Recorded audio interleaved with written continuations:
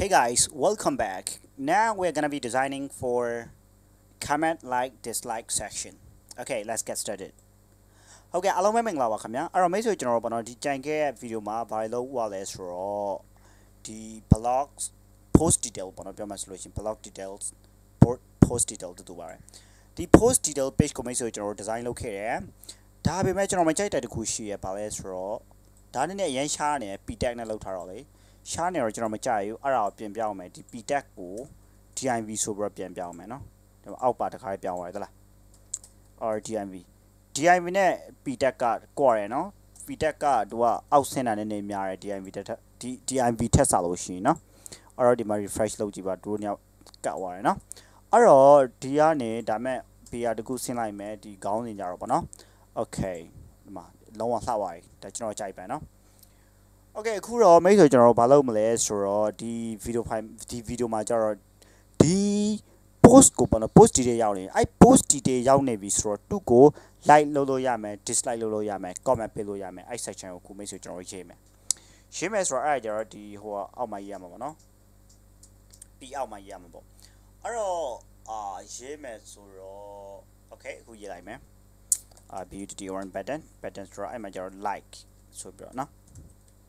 okay ဒီကိုပေါ်လာပြီ like ဆိုတဲ့ဒီကိုပေါ်လာပြီဒါမှလှလာဆိုတော့မလှသေးဘူးမလှသေးဘူးဆိုတော့မိတ်ဆွေကျွန်တော်ဘာသုံးမလဲဆိုတော့ bootstrap class ကိုသုံးမယ် btn btn sm btn တော့ငေးမယ် btn sm ဆိုတော့အငေးကိုသုံးထား btn or sussex auc yes sussex ဒါအစိမ်းရောက်လို့ကျင်တာကို like ဆိုတော့နော်ဒီမှာ like ဆိုပြီးတော့ရလာတယ်ရလာတော့မိတ်ဆွေကျွန်တော်တို့ like ကဥမာအာပြောချင်တာဗာလဲဆိုတော့အောက်ဆင်းမယ် like ပေါ့နော်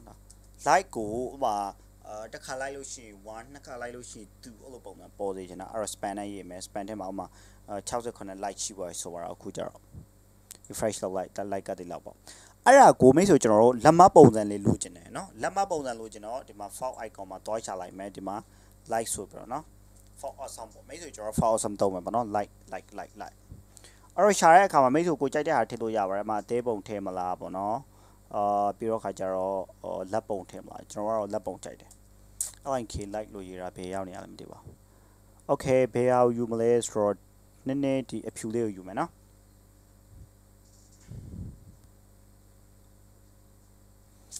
အဲ့တော့ရပြီရပြီဆိုတော့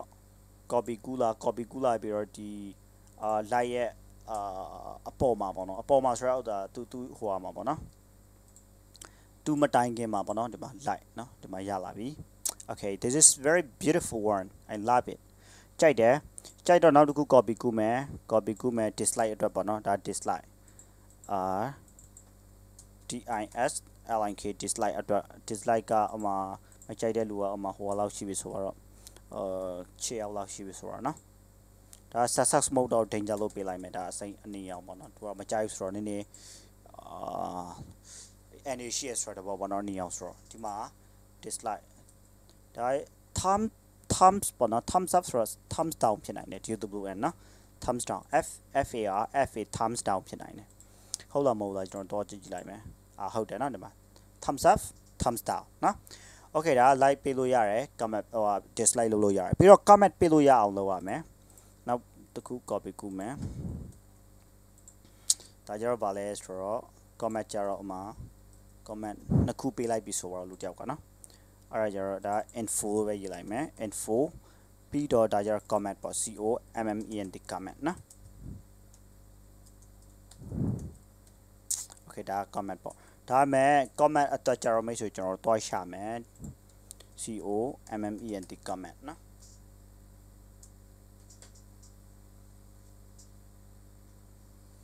Okay ဘယ်ဟာကြိုက်လဲမိတ်ဆွေကိုကြိုက်တဲ့ဟာရွေးလို့ရတယ်ကျွန်တော်တို့ဒီဖြူအောင်လေးကြိုက်တယ်အဲ့တော့ဒီဖြူအောင်လေးကိုရွေးမယ်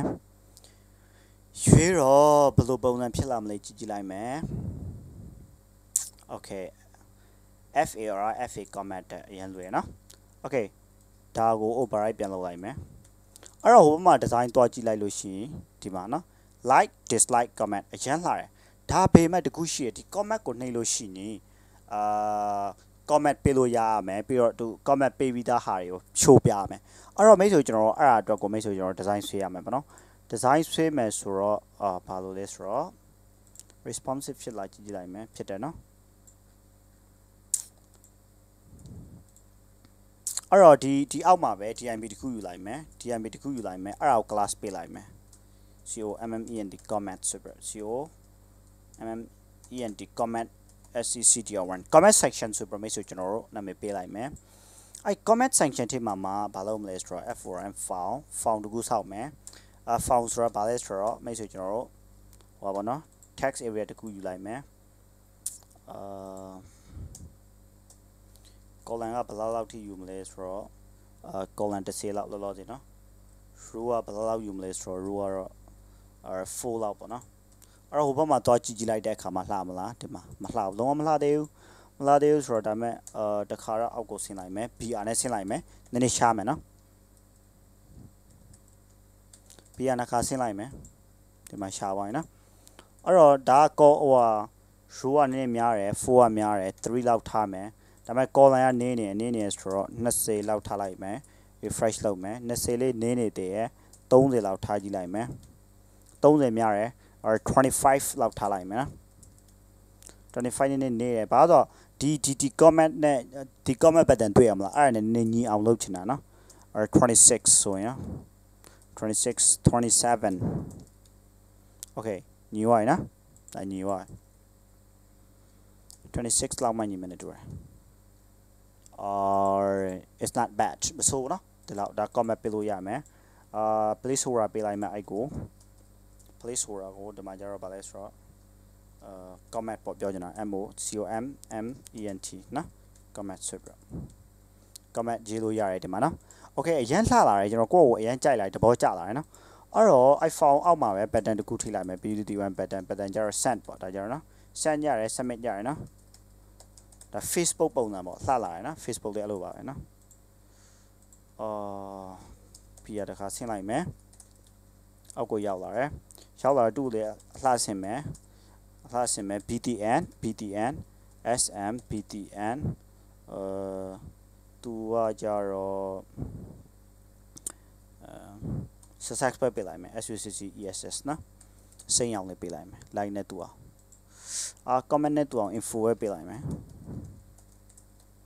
နော်အဲ့ထက်မှာမှာမိတ်ဆွေကျွန်တော်တို့ comment တခုတော့ယူလိုက်မယ် send ဆိုပြီးတော့နော် comment မဟုတ်ပါဘူး sorry စကားပြောတာနည်းနည်းလောနေရ for awesome တခုတော့ရှာမယ် send ပေါ့နော်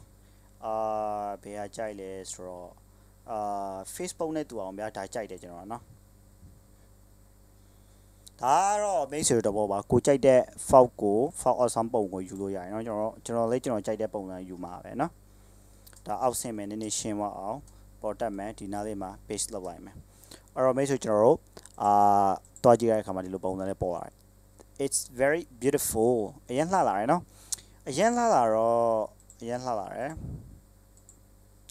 ပြီးတော့ comment ပေးတဲ့လူတွေပေါ့နော် comment ပေးတဲ့လူတွေကို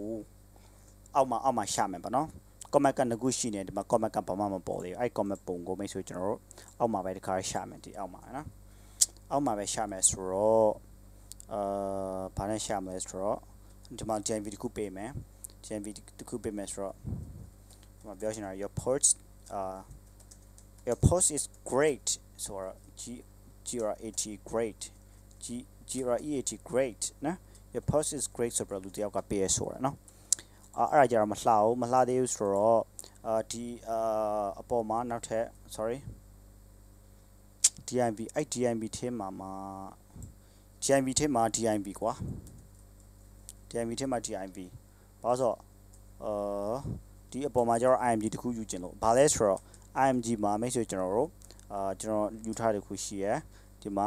user ဆိုပြီးတော့ user ပုံလေးကွာသိရမလားဒီလိုဒီလိုဒီလိုပုံလေးဒါအရင်ကြီးနေတော့မမိုင်မမိုင်ဆိုတော့မိတ်ဆွေတို့ကျွန်တော်တို့ comment section ကိုတွားပြင်မယ်နော်တွားပြင်မယ်ဆိုတော့ style ကိုတွားတွားပြီးတော့ dot comment section ထဲက img ကို width ကိုတစ်သေးလေးပေးလိုက်မယ်နော်အာတစ်သေးလေးဆိုတော့20 pixel လောက်ပဲပေးလိုက်မယ် မတလားတစ်သေးလေးအာအရင်သေးဝါးအရင်သေးဝါးတော့အာအဲ60လောက်ပေးရင်နော်60ဆိုတော့ကြီးလာတယ်60က50လောက်ပေးလိုက်မယ်နော်ဒါအရင်လှပါရင်နော်50လေးကြီးတယ်40လောက်ပေးလိုက်မယ် okay နေတော့ပဲနော် okay အဲ့တော့မိတ်ဆွေနည်းနည်းအောက်ဆင်းမယ်အောက်ဆင်းမယ်ဆိုတော့အာ BR ပဲထည့်လိုက်မယ်ဒီမှာဒဒီမှာအောက်ကိုဆင်းလာပြီဒါပေမဲ့ your post is great ဆိုတဲ့ဥစ္စာမလှအောင်မလှအောင်ဆိုတဲ့ဥစ္စာ ဟိုဒီကောင်ပေါ့နော်သူ့ကို class ပေးလိုက်မယ်သူပြင်လို့ရအောင်နော်ပြင်လို့ရအောင်ဆိုတော့ဗာလဲဆိုတော့ MESSAG message box ဆိုပြီးပေးလိုက်မယ်နော် message box ဆိုပြီးပေးလိုက်မယ်အာအဲ့တော့ဒီ comment section ထဲက message box ကိုမိတ်ဆွေမင်းနေပြင်မယ်အာနည်းနည်းဘာလဲဆိုတော့ BORD or border page ကြည့်လိုက်မယ် border 1 pixel 1 pixel SOLID solid gray gray gray ကိုပေးကြည့်လိုက်မယ် Oof အရင်ရှည်တယ်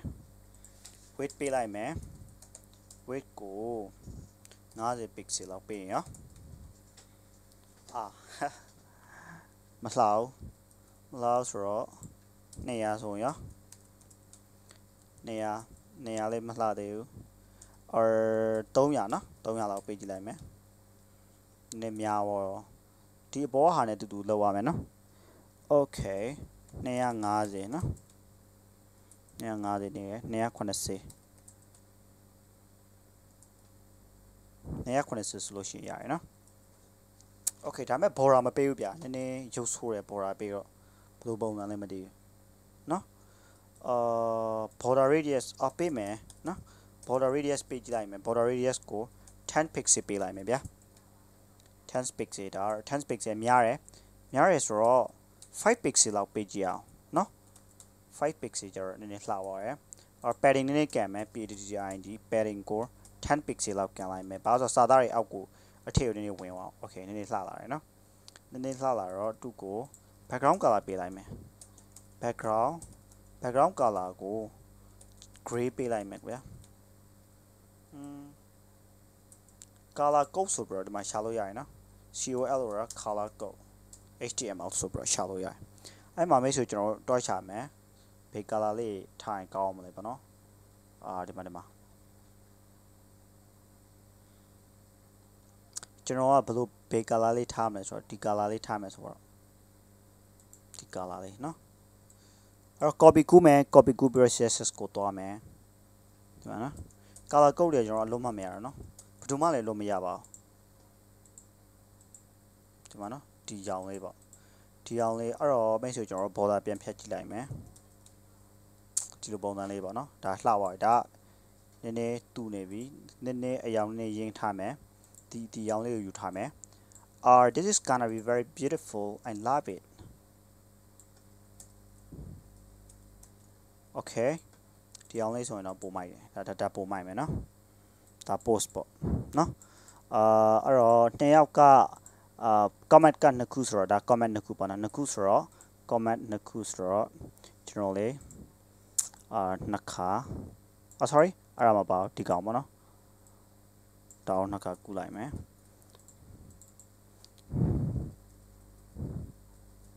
Alright, I love your post နောက်တစ်ခုကတော့ LPS ဆိုတာနော် Okay ဒီမှာလေး အာ beer cam ပေါ့နော်ဆို beer နှစ်ခါခံလိုက်မယ် Okay အောက်ကိုဆင်းသွား beer နှစ်ခါဆိုလို့ရှိရင်နည်းနည်းများတယ်တူတော်မှတစ်ခါပဲเนาะဒီလိုဆိုလို့ရှိရင်လှတယ်เนาะ Okay ဒါကတော့အဲ့တော့ပြီးတော့ဒီ comment ပေးတဲ့လူရဲ့နာမည်လေးလိုချင်တာအောင်เนาะလူရဲ့နာမည်လိုချင်တော့ဒီနားလေးမှာအဲရေးလိုက်မယ် G O H N John ကပေးရဆိုတော့เนาะဒီအောင်တက်လာ G O H N John ဆိုပြီးတော့နာမည်ကိုဒီနေ့ဘိုးတင်လိုက်မယ် S T R O N G strong image ရဲ့ဘေးနားမှာတွေ့မလားနော်အဲ့နာမည်ရေးရမှာနဲ့ G O H N John နော် John ပေးတာဒီနောက်တစ်ယောက်ကဘာတူလဲဆိုတော့ကဒါကိုပဲ copy ကူးလိုက်မယ် copy ကူးပြီးဒီမှာ paste ချလိုက်မယ်ကျတော့ဒါကြတော့ဗာလဲဆိုတော့ Jennifer ဆိုတော့ G N I F E R Jennifer ပေးရဆိုတော့ဒီဒီ post ကကြတော့အဲ့ဆိုဒါအဲ့တော့ကျွန်တော်လုပ်ချင်တာဒါဒါဒါကျွန်တော်လုပ်ချင်တာဒါမဟုတ်သေးဘူးဘယ်လိုပုံစံလဲဆိုတော့ဒီ comment ကိုနှိမ်မှာဓာကြီးတွေပေါ်လာချင်တာအခုကျတော့ comment ကိုနှိမ်နေမနှိမ်နေပေါ်လာနေကျွန်တော်ကြိုက်တာအဲ့ဒါမဟုတ် comment နှိမ်မှာပေါ်လာတယ် Facebook ပုံစံလိုပေါ့ Facebook လဲ comment ကိုက comment ပေးပေးချင်တယ်ဆိုမှဓာကြီးပေါ်လာတာအာမပေးချင်ဆိုပြီးတော့မပေးချင်မနှိပ်ပေါ့ကွာပြောမယ်ဆိုတော့အဲ့ဒါလုံးမယ်လုံးမယ်ဆိုတော့မိတ်ဆွေကျွန်တော်ဘယ်လိုပုံစံလုပ်ရမလဲဆိုတော့ comment section ဆိုပြီးရှိရနော် comment section ရှိရအဲ့တော့ comment section ကို class ကိုတော့ပေးရမယ်။ဘာလဲဆိုတော့အဲ့ class ကျတော့အာ C O L L A P S E collapse ဆိုပြီးပေးရမယ်။ အဲ့ clip ကဟိုရောမို့ပေါ့နော်ဒါက bootstrap နော် bootstrap ပေါ့နော် bootstrap တိထားမှာပါမိတ်ဆွေ bootstrap ကိုလေ့လာပါနော် bootstrap လေ့လာမှာဒါရရမယ် clip ဆိုတော့လောက်ကြည့်လိုက် clip လို့ class ထိလိုက်တာ ਨੇ တခါလေးပျောက်သွားတယ်တလားမရှိတော့ဒါကတော့ bootstrap ကသူက original လုပ်ပြီးသားမလို့နော် clip လို့ပေးလိုက်တာ ਨੇ မရှိတော့အဲ့တော့ဒီဒီဒီ comment ကိုနှိမ့်မှာပေါ်လာစေချင်တာအဲ့တော့ဒီ comment button မှာတွားပြီးတော့အလုပ်လုပ်တော့မယ်မိတ်ဆွေကျွန်တော်တို့အဲ့တော့ comment button မှာအာဗာပေးမလဲဆိုတော့ data data toggle TOO TOGGL data toggle ဆိုရချင် data toggle မှာ toggle ဖြစ်နေတာ toggle ဆိုတာဥမာပေါ်လာစေချင်တယ်ပြီးတော့တစ်ခါနှိပ်လို့ရှိရင်ပေါ်ချင်တယ်နောက်တစ်ခါနှိပ်လို့ရှိရင်ပျောက်ချင်တယ်အဲ့ဒါ toggle လို့ခေါ်တယ်နော် data toggle ဘေးကောင်ကို toggle လုပ်မလဲဒီ class collapse ဆိုတာကောင်ကို toggle လုပ်မယ်နော် toggle လုပ်မယ်ပြီးတော့ဒီမှာ refresh လုပ်ကြည့်လိုက်နှိပ်ကြည့်လိုက်မပေါ်လာသေးဘူးဘာဆိုတော့ data target ဆိုတဲ့ဥစ္စာရှိတယ်နော်